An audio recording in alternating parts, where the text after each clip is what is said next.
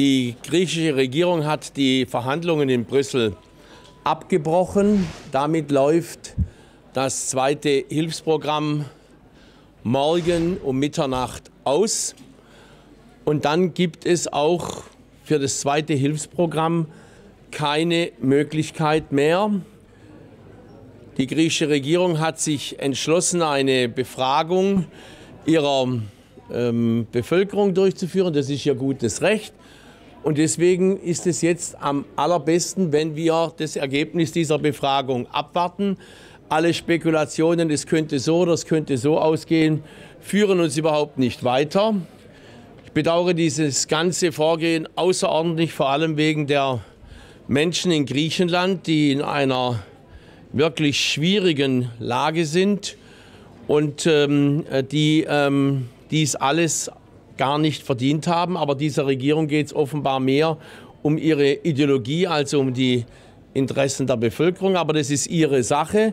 Und wenn das ähm, Ergebnis der Volksbefragung vorliegt, werden wir abzuwarten haben, was Griechenland äh, sich dann vorstellt. Wenn Griechenland dann ein neues Hilfspaket in Anspruch nehmen will, geht es nach dem sogenannten ESM, das ist ein ganz anderes Regime als bisher. Nach dem ESM muss zunächst einmal die Bundesregierung überhaupt vom Bundestag beauftragt werden, Verhandlungen durchführen zu können. Und danach, wenn die Verhandlungen geführt sind, muss der Bundestag dem Ergebnis noch zustimmen. Ist also ein zweistufiges Verfahren, etwas ganz anderes und das muss die griechische Regierung dann entscheiden.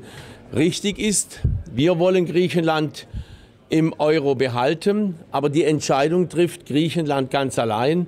Eines geht gar nicht und so können wir in Europa auch nicht miteinander umspringen, äh, dass ähm, die vereinbaren Bedingungen ähm, äh, nicht eingehalten werden äh, sollen.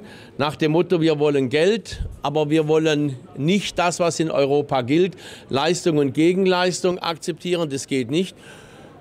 Ich warte jetzt schlicht und ergreifend ab, was in den, äh, bis zur Volksbefragung stattfindet. Dann werden wir ein Ergebnis haben und dann werden wir ja hören, was äh, Griechenland neu will.